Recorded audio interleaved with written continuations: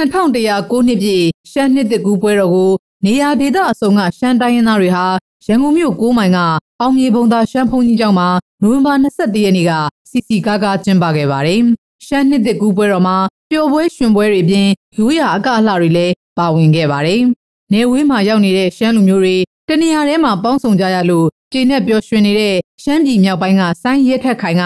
ဒီနေ့ကရှမ်းလူမျိုးတွေအတွက်နေထူးနေမြတ်တစ်ခုပါပဲလို့ဆိုပါတယ်။အခုလိုနှစ်သက်ကူပွဲတော်ကိုအဝေးရောက်ရှမ်းတိုင်းရင်းသားတွေအင်တိုက်အားတိုက်ပါဝင်ဆင်နွှဲတာဟာရိုးရာကိုတန်ဖိုးထားကြတာဖြစ်တယ်လို့ပြောပါတယ်။ကျန်တိုင်းသားတွေအတွက်ဒီနေ့ကနေနေမြတ်ပဲလေကျွန်တော်တို့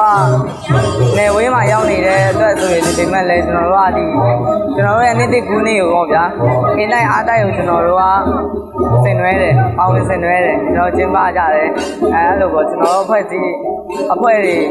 အားလုံးစုပေါင်းပြီးတော့လုပ်ကြတယ်ပြောပပပျော်စင်ကြရပေါ့ဗျာဒီလိုနေ့ဒီနေ့နေ့လေးမှာအရန်လဲပျော်စင်မိရအရန်လဲချီတူမိရကျွန်တော်တို့ဇာတိမြို့မှာရှိနေလို့ပဲကိုယ်ကိုခံစားရတယ်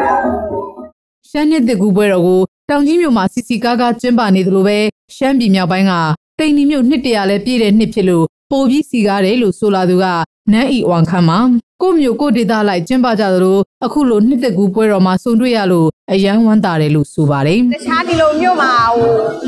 ပွဲပြီးတော့ဗောနော်ဟိုအဲ့လိုမျိုးတွေ့ဆုံရတဲ့အတွက်ကိုအယမ်းဟိုညနေမှာအတိုင်းမသိဝမ်းသာတယ်ဗောနော်ဟိုဒီတိုင်းရိုးရိုးဆိုရင်လည်းအဆက်တွေလည်းမရကြဘူးဗောနော်မဒီပွဲမှာချမှာအကုန်လုံးပြန်တွေ့ကြတဲ့ဟာတွေလည်းရှိရဗောနော်အဲ့ဆိုအဲ့တော့အယမ်းဝမ်းသာပါတယ်မမဟုတ်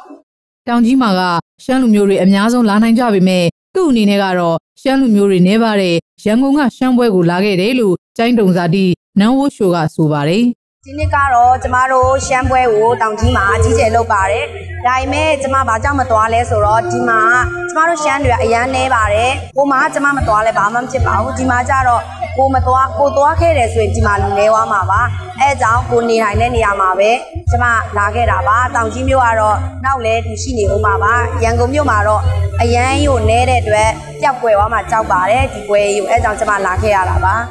ရှမ်းလူမျိုးတို့ရဲ့2109ခုနှစ်ပြည့်နှစ်သက်ကူးပွဲတော်ကိုမြမဒီမိုကရေစီခေါင်းဆောင်ဒေါအောင်ဆန်းစုကြည်ကလည်းတဝန်လာပေးပို့ပြီးဆူတောင်းခဲ့ပါသေးတယ်